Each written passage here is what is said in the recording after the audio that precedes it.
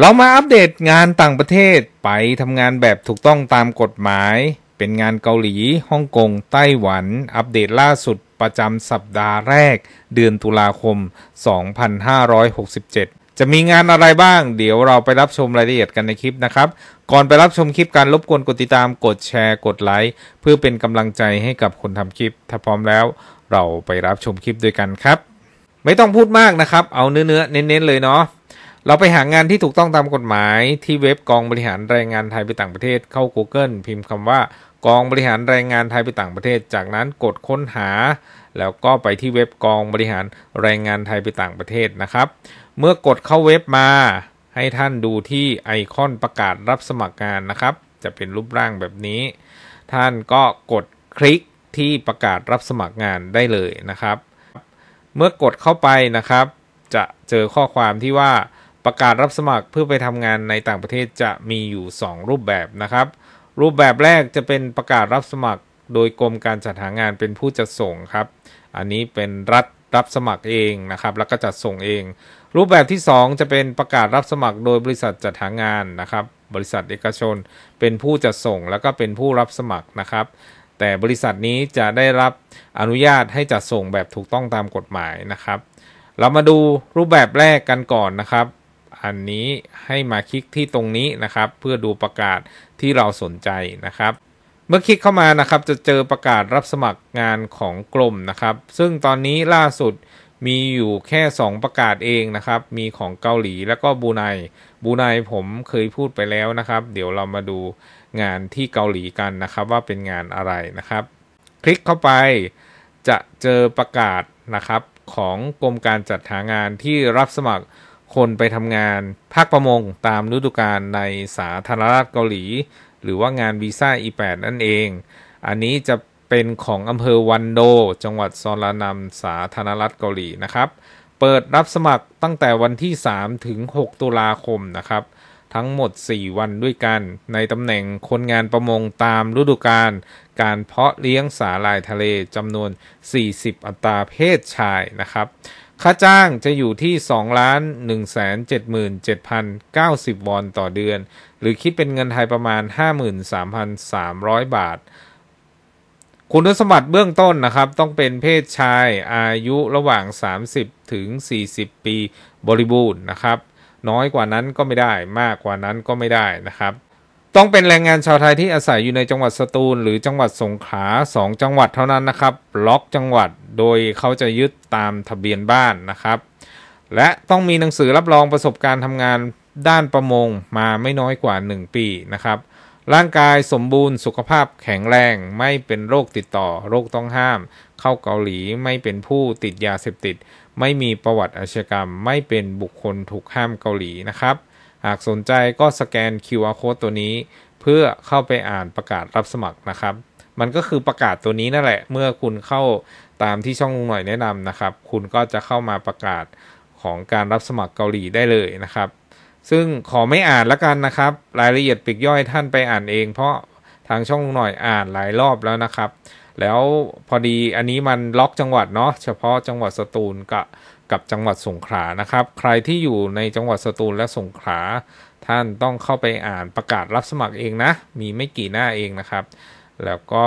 หากสงสงสัยอะไรก็ตามนะครับ แนะนำให้โทรไปที่เบอร์โทรนะครับ 022451034 ในวันและเวลาราชการนะครับ นี่คืองานที่1นนะครับ ซึ่งเป็นงานที่เกาหลีในงานวีซ่า E8 เนาะเสียดายมันล็อกเฉพาะจังหวัดสตูล กับจังหวัดสงขลานะครับ จังหวัดอื่นๆก็ต้องรอต่อไปนะครับ เดี๋ยวเรามาดูงานที่เป็นบริษัทจัดหางานเอกชนเป็นผู้รับสมัครบ้างนะครับ ท่านก็สามารถที่จะคลิกที่ตรงนี้ได้นะครับ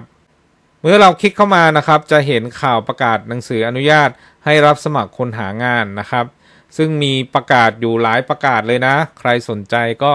เข้าไปดูได้นะครับ มีหลากหลายงานเลยตามที่ท่านจะสนใจนะครับ แต่หลายงานช่องหน่อยอะเคยอ่านแล้วนะครับ ก็เลยไม่อยากอ่านซ้ำนะครับ ใครสนใจก็เข้าไปดูได้นะครับ งานอิสราเอลก็ยังมีนะสำหรับเป็นงานช่างก่อสร้างนะครับ ที่หลายท่านสนใจนะครับ สามารถเข้าไปดูประกาศ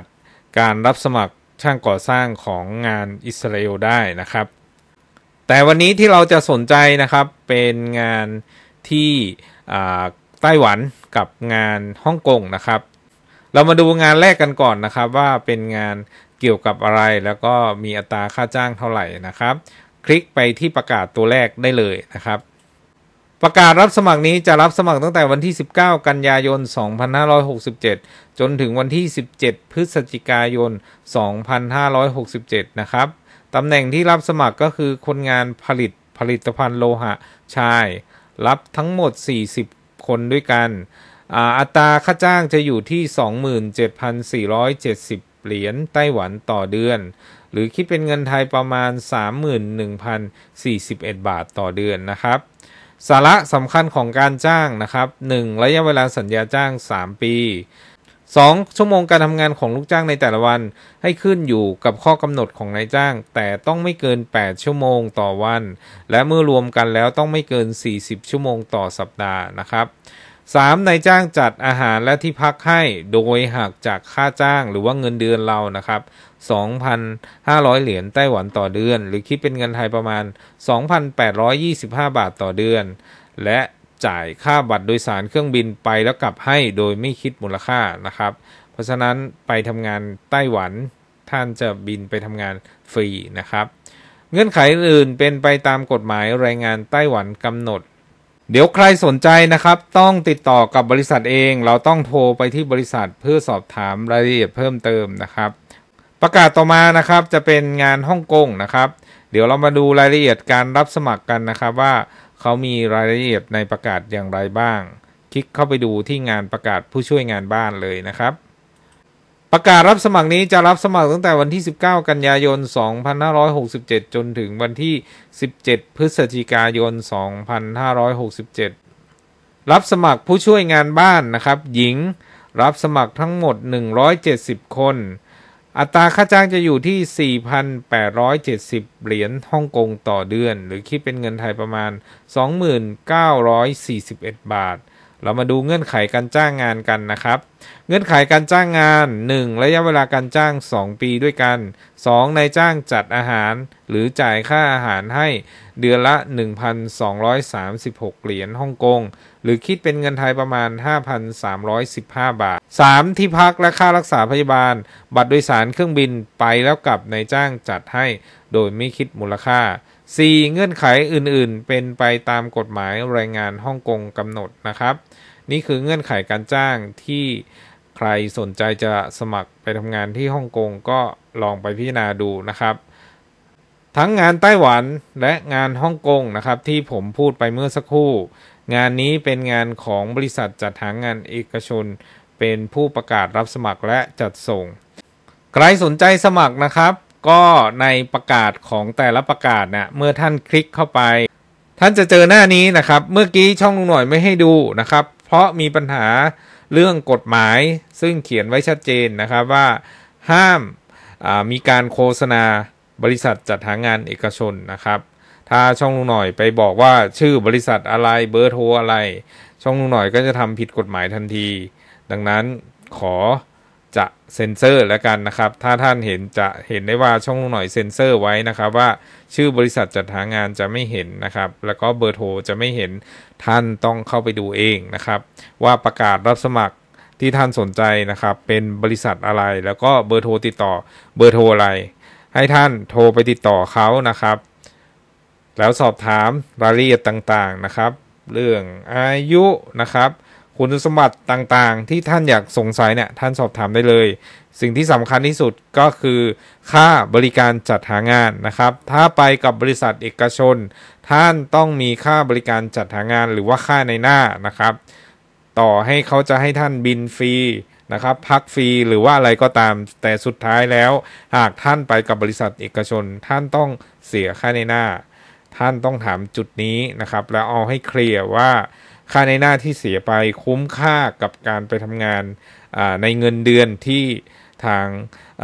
เขาได้ประกาศรับสมัครไหมนะครับ หากคุ้มค่าก็เดินทางไป หากไม่คุ้มค่าก็ไม่ต้องไปนะครับ ทุกคนตัดสินใจเอาได้เองเลยนะครับ แต่งานนี้รับรองว่าถูกกฎหมายแน่นอน เพราะรัฐเป็นผู้อนุญาต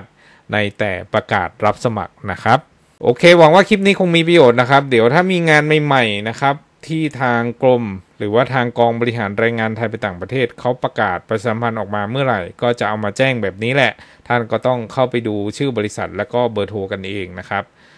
และขอย้ำเป็นครั้งสุดท้ายนะครับ ใครที่อยากไปทำงานที่ออสเตรเลียไม่ว่าจะเป็นงานเกษตรหรืองานแพ็คของ ตอนนี้ไม่มีงานที่ถูกต้องตามกฎหมายนะครับ ไม่ว่าจะเป็นรัฐเป็นผู้จัดส่ง หรือบริษัทจัดหางานเอกชนเป็นผู้จัดส่ง คนที่ประกาศรับสมัครตอนนี้แล้วบอกว่าเป็นงานที่ถูกต้องตามกฎหมาย คือมิจฉาชีพทั้งนั้นนะครับ หรือรองลงมาก็จะเป็นงานที่เกาหลีนะครับ ก็จะอ้างว่าไปทำงานเกษตรหรือว่างานภาคประมงนะครับ ไม่ว่าจะเป็น E9 E8 หรือบางครั้งไม่มี E อะไรเลยนะครับ ไปกันตรงๆนี่แหละ แล้วบอกว่าทางเกาหลีนะครับ รับสมัครเองโดยไม่ต้องผ่านกรมการจัดหางานนะครับ อันนี้ไม่มีนะครับ ยืนยันว่าถ้าเป็นงานเกษตร ต้องผ่านกรมการจัดหางานเท่านั้นไม่มีบริษัทไหนสามารถจะรับสมัครได้ พวกนี้เป็นมิจฉาชีพทั้งนั้นนะครับ อย่าได้หลงเชื่อโดยเด็ดขาด หากท่านอยากไปทำงานต่างประเทศ ท่านต้องไปที่เว็บกองบริหารแรงงานไทยไปต่างประเทศที่ช่องลุงหน่อยแจ้งเมื่อสักครู่นะครับ ท่านไปเช็คงานของท่านได้เลย หากมีงานที่ถูกต้องตามกฎหมาย มันจะประกาศในเว็บไซต์นั้นนั่นแหละ ถ้าไม่มีก็สันนิษฐานไว้ก่อนว่า ท่านกำลังจะถูกหลอกลวงนะครับ ก่อนจบคลิปรบกวนกดติดตาม กดแชร์ กดไลค์เพื่อเป็นกำลังใจให้กับคนทำคลิป ขอบคุณทุกยอดแชร์ยอดติดตามยอดไลค์ที่มีให้กับช่องลุงหน่อยเสมอมา วันนี้ช่องลุงหน่อย สวัสดีนะครับ